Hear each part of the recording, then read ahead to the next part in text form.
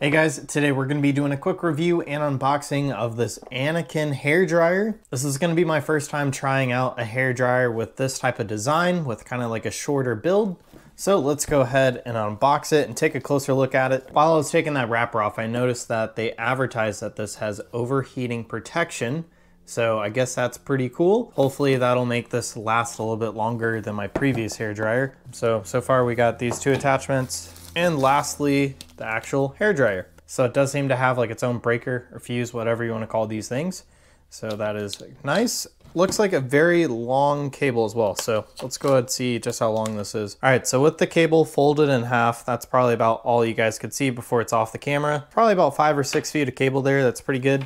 All right, so in regards of the actual hair dryer, it has like a really cool soft plastic material. I really love the quality of the plastic that they use on this. So it looks like we have the cold air function and then the two different speeds for the normal hot blow dryer. And then also you guys could just press this and that should do the cold air every once in a while if you need a, a break from all the hot air. All right, so let's go ahead and take a look at these two attachments.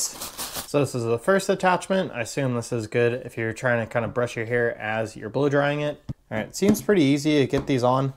Kind of just snaps straight into place like that. Then uh, this attachment just kind of makes the air a little bit more direct. So once again, snap it on and it's on there pretty well. You guys could even rotate this one so really get the angle that you guys are looking for.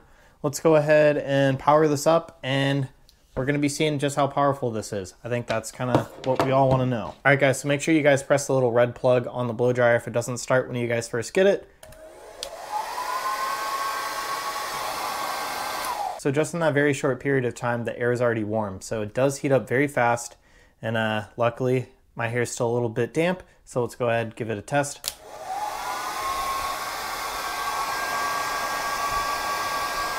All right, so after using it for a minute or two there, I could definitely say it heats up fast. And when you guys switch to the cold air function or the cool air function, it does also switch back to that very fast. It feels like it has a lot of power as well, which is pretty impressive for how small this actually is, having a shorter form. And it's also very light as well, which I think is a nice thing if you guys are blow drying your hair for a long time, or even using this on your dog after you give him a bath. Looks like this filter is pretty easy to clean back here as well if it starts to get clogged up. All right, so if I had to choose a favorite thing about this Aniekin hair dryer, it would definitely be the way it looks. You guys have the soft plastic design with these gold or rose gold accents. I think it looks great. And overall, it seems to do the job pretty well and quickly. So anyways, that is my review of this Aniekin hair dryer.